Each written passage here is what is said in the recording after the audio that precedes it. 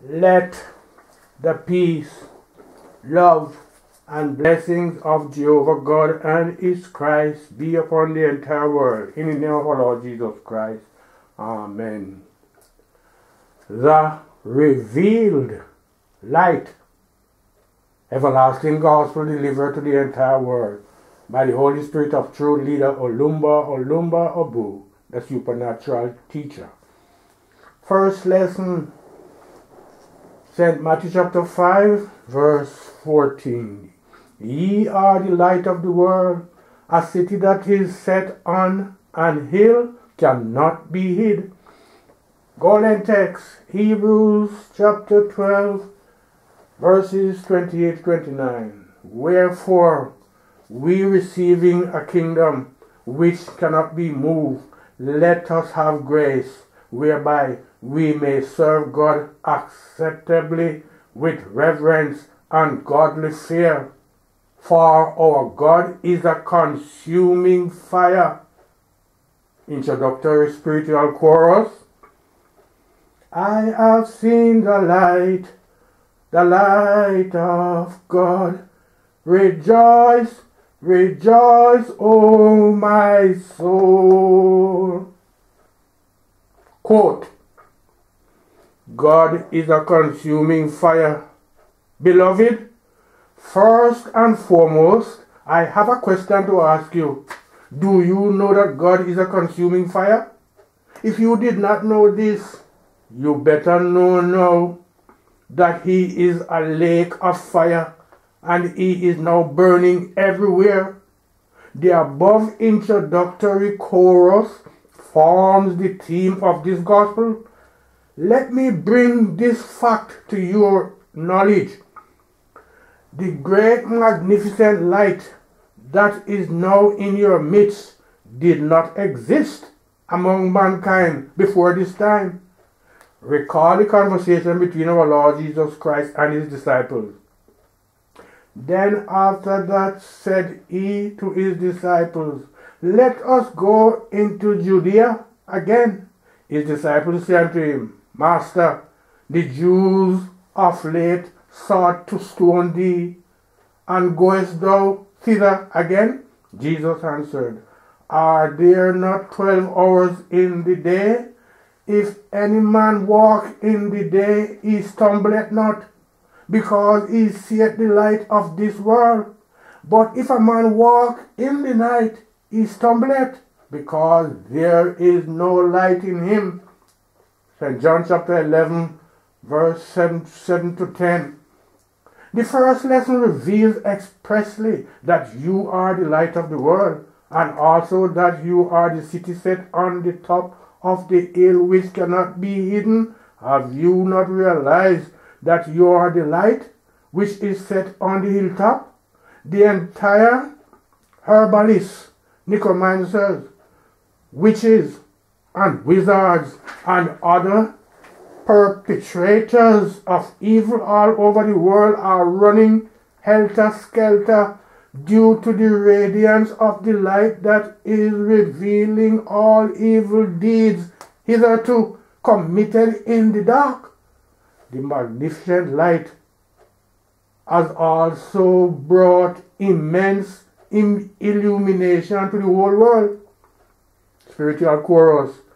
Jesus is the way, the truth, and the light. Whosoever cometh to him shall never die. The light of the world. Beloved, our Lord Jesus Christ is the way, the truth, and the life. If you believe in him, you shall never die. It is really pathetic that you are still searching for God when he is right with you. This time is meant for the glorification of God, so the time of darkness has gone. Having known fully well that this is the age of God's glorification, why do you continue to be skeptical? And why do you continue to indulge in sinful acts? Many testimonies have come from different parts of the universe supporting the limitless and wonderful power of God. An example of such testimonies that affirm the mighty power of God came from a certain member of a secret cult. His baptism into Brotherhood of the Cross and Star discharged and acquitted him. You have to realize that the light of the world has descended to the earth plane and wherever he is found, darkness cannot be found there. Darkness recedes wherever he emerges. The impacts of this light.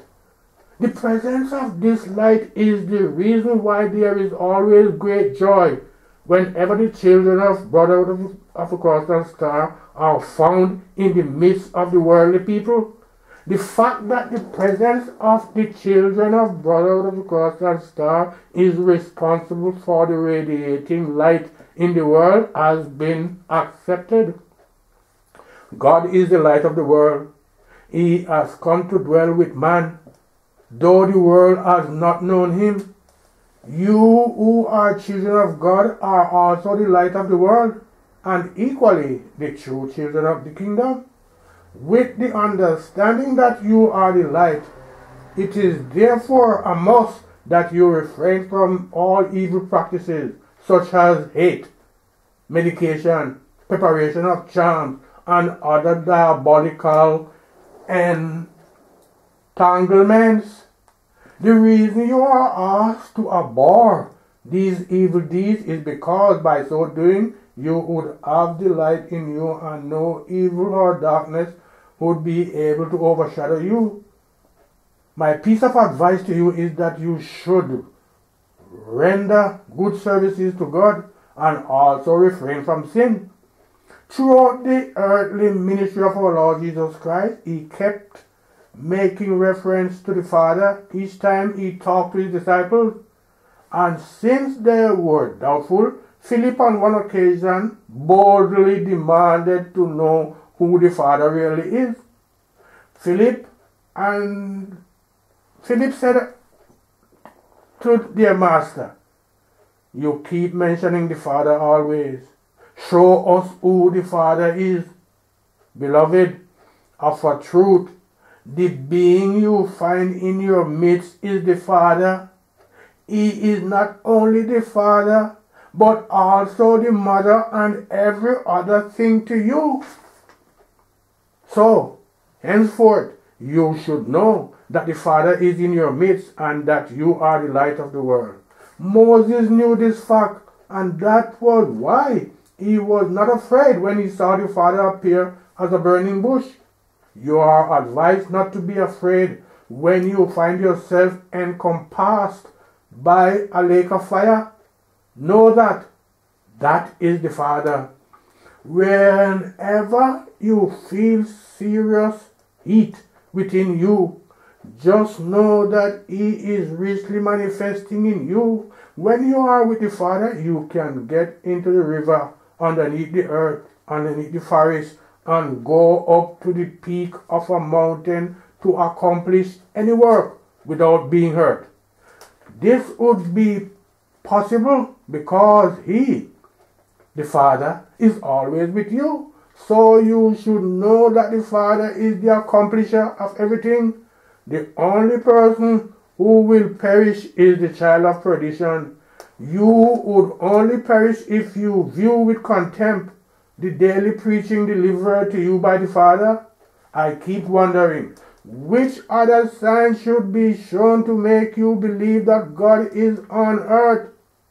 You have been told his presence is felt in Russia, in United Kingdom, in United States, and other parts of the world by his entire creation. Therefore, you should call the Father any moment you are in danger, you are in hunger, affliction, lack of and lack and hopeless, and he would not hesitate to appear as the only solution to your problem? It is popularly said that when the battle is too fierce, the king himself takes over command. By calling the Father, He, the omnipotent God, intervenes and victoriously subdues his opponents. Do believe that God is closer to you than the teeth is to the tongue. Also, have the understanding that God is a consuming fire. For by so doing, you would be seen as the light of the world. You will be liberated from whatever problem so long as you walk in the light. Refrain from the works of iniquity and walk according to the dictates to the dictates of God. God works in a mysterious way. His power and blessings are sufficient to everybody. Hideous activities of darkness cease completely when he's at work. Endeavor to ad- adhere to the admonitions from God. These admonitions include demonstrating love for one another, desisting from causing division, fighting, and seeking exalted positions. Your advice to particularly, your advice to practically demonstrate these virtues of God, because if you adhere to them, you are with God, and consequently has abundant supply of everything. Read the first lesson again.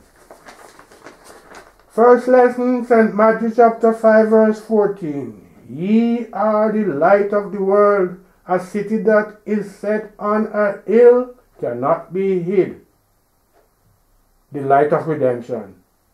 Beloved, is the above statement that reveals you as the light of the world strange in your ears? Rise up and go into the streets and cities and impart the teaching of God to all and sundry.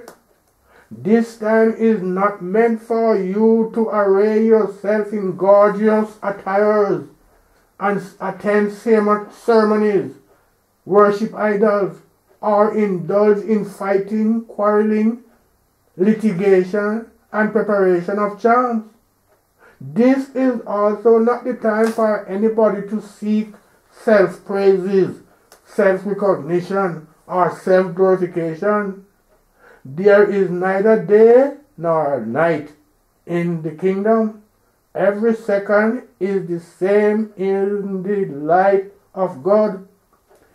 And since God is always with you, all your deeds are not hidden from Him. It is therefore pertinent to give thanks to God for revealing these great facts to us and also providing the possibility for us to know and accept Him. Women liberation is divine. It is an indisputable fact that in times past women hardly could measure up with man with men in any field of human endeavor. But the reverse is the case today. The Father has come to make women the rulers and owners of the world. In South Africa today, all secrets have been exposed. All distinguished personnel in government circles and many other persons alleged to have engaged in one form of fraudulent activity or the other have been summoned to give account of their deeds. You should realize that indulging in sin is unprofitable. Shun sins and draw closer to God because God is all and in all. Since you have always cried and lamented that you are fatherless, he has now come to comfort you and also be your father. Express gratitude, express gratitude and joyously shout hallelujah for the father has come to redeem mankind. Beloved, put your hope in the father for he will never deceive you. He has openly said You who are his child should not lament, cry, and weep any more, for the Savior is not on the way to you, but is right in your midst with you. In the past, no matter the wealth owned by a woman, she was always considered insignificant and so could not know what to do with the enormous wealth. Women had always looked up to their husband for everything, but the situation is different today. Women have been liberated from the slavery and bondage of man, and the age long chains of servitude have been broken since they have the solid support of the Father. Women should no longer be intimidated, humiliated, and considered insignificant. This is the time of total liberation in the entire world. It is worthwhile knowing that the women all over the Brotherhood, Kingdom came all out to celebrate their week long 30th anniversary. Interestingly, all of them remained with the Father from the beginning to the end of the celebration, and the Father worked continuously in them. The whole world has been liberated through the woman. The Holy Spirit has come to the earth to keep the woman's flag flying. Men should continue to men should men could continue to be deceived, but no woman can be deceived anymore. God honors his word. The reason why I have to deliver this gospel is in order to reveal what I have in store for you, the various mysteries and the illustration you will come across as you read along have much to do with the saying that the Word is God and God is the Word. Therefore, you are advised not to trample on the Word of God. Rather, you should attach great importance to it. If you adhere to this advice, you would begin to have a greater understanding of yourself, much more than you used to have. We have heard that God is light, and as light, He radiates wisdom, understanding, and directs our daily activities. In the generation of Noah, God destroyed the earth with water, and according to him, a consuming fire shall destroy the present generation. Take your mind to what happened to the generation of Noah. When God instructed Noah to build an ark, the people of that time were disturbed surprised and worried. They ask, why Noah should build an ark when there is no river? Also, Noah had ceaselessly preached and disclosed to the people that the time for God's destruction of the world was near. But Noah's preaching fell on deaf ears. He was considered a lunatic Nobody hearkened to Noah's preaching. Rather, all he said was viewed with contempt. They were preoccupied in seeking to know why God should use water to destroy the world. To prove the fact that God is the Word and the Word is God, immediately, immediately Noah had completed the ark the irrevocable word of God manifested, God earnestly honors every word that proceeds from his mouth. So, if there is anything you would not toy with, it should be the word of God. The prophesied flood, which was to be the agent of the destruction of Noah's generation, started with just scanty drizzling of rain the people had considered the rain as incapable of causing any meaningful destruction. But eventually, the tide of the flood rose steadily and persistently and permanently destroyed the whole generation with the exception of Noah and those in the ark who abided by the instructions of God. The unpredictability of God. Similarly, in the time of Lot, God also revealed that He will use fire to destroy the world. The people found it difficult to believe what God said, since by this time the ways of making fire had not been invented. In fact, fire was unknown. For that reason, they wondered how possible then it was for the world to be destroyed by fire. They reasoned that way, forgetting that God Himself was a consuming fire. Lot had continued to preach to the people and ceaseless and ceaselessly referring to the frightful flood that had wiped out an entire generation during the time of Noah. A few people hearkened, a few people hearkened to the preaching of Lot, while the rest claimed it was impossible for such a disaster to occur. But in the end, the two cities of Sodom and Gomorrah were completely destroyed by fire. In the present generation, you have seen the Father and have as well heard that he will again destroy the world with fire. In preparing for the time when such devastation will take place, you have gathered fire extinguishers and stored up items in readiness to put out such fire whenever it ventures to cause havoc. If I may ask, who can quench the fire set by God? Is a consuming fire, and he does and he does everything at his will. Man cannot predict the actions of God because God's wisdom supersedes that of man. Since you are the light of the world, you should refrain from sin and possess the qualities of God. The scriptures have enjoined that let him which is on the housetop not come down to take anything out of his house. In Matthew 24, verse 17. God is unpredictable.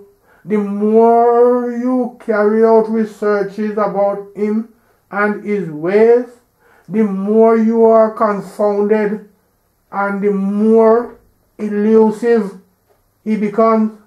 Again, the scriptures enjoin thus. As newborn babes desire the sincere milk of the, of the word, that ye may grow thereby. If so, be ye have tasted that the Lord is gracious. That was 1 Peter, 1 Peter chapter 2, verses 2 to 3. An illustration of destiny. After reading minutely this is this illustration, you would understand how God is and how He works. There lived a certain woman who had a chain of revelations that, firstly, she would give birth to a male child. Secondly, the child will be crowned a king, and eventually a lion will kill him. Since the woman had no child, the prophecy came as a surprise, and she was greatly disturbed. After some time, as predicted, the revelation started manifesting in rapid succession. The woman truly became pregnant and gave birth to a male child. The boy grew rapidly into a successful businessman. Next, a fulfillment of the second part of the revelation. The community assembled together and unanimously decided to crown him their king. But one surprising thing to everybody when the day of his crowning came was that he did not belong to the royal household. The reasoning and tradition of the people gave way to providence, and the title of the king was conferred on him. It was during this conferment ceremony that his mother recalled the second part of the prophecy, which was now fulfilling. There was great joy and merriment on that day of his proclamation as the king. Now the first and second parts of the prophecy have, manifested. What was left was the third part, which revealed that the young man will, would be killed by a lion, and the knowledge of this greatly distressed and caused immense uneasiness in the young man's parents. The word of God is irrevocable. The parents thought deeply of how to prevent the remaining part of the frightful prophecy from fulfilling. After such thinking, they conceived a possible way. They planned to erect a very gigantic building with stories. The building should be properly fenced with a strong iron gate. Also, the security network to be provided should be the best in the world.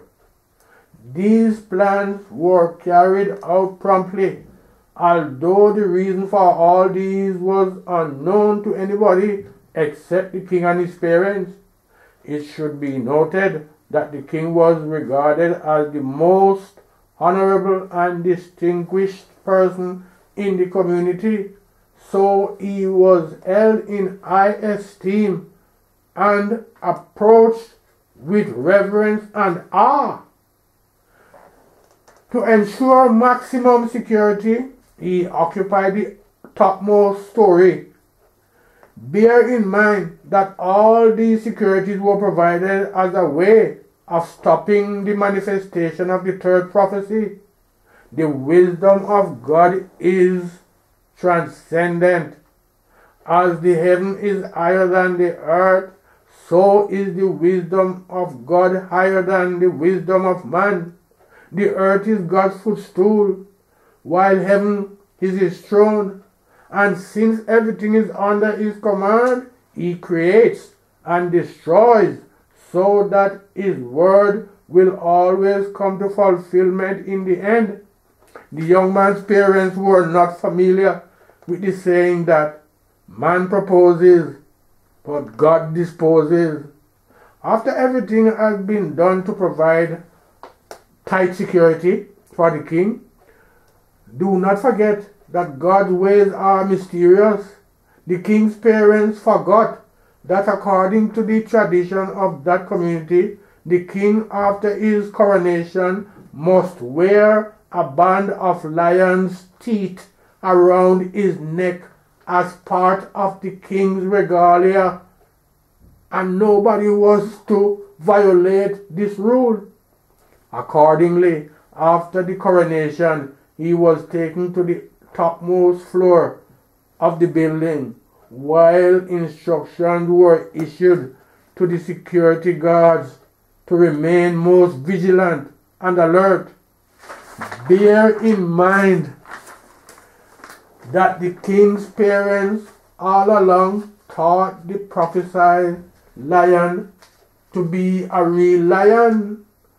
And eventually, when it was time for the will of God to manifest, the child or king, after a colorful ceremony, went home after being thoroughly exhausted to have some rest.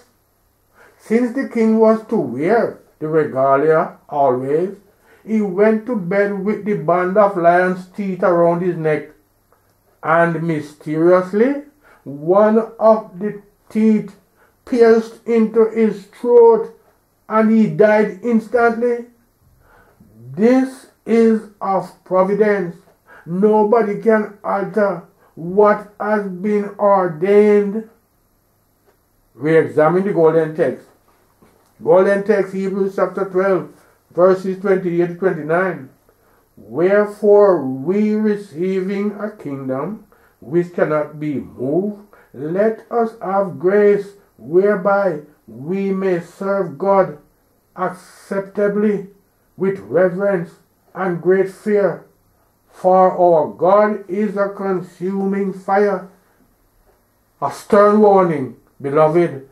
The above illustration is to enable you to understand who God is and how He works. You have been advised to use this opportunity to enrich yourself with the virtues of God. This should serve as a stern warning. You should be careful when God issues an order. It is not possible to hide from God when He does His things. Therefore, you should not disobey His instruction, knowing fully well that He is a consuming fire. God rewards everybody according to his work. Beloved, a stroke of the cane is enough for the wise. Let he who have ears to hear, hear what the Holy Spirit has imparted to the whole world. May God bless his holy words. Amen. End of quote. Peace in the name of our Lord Jesus Christ. Amen. Thank you, Father.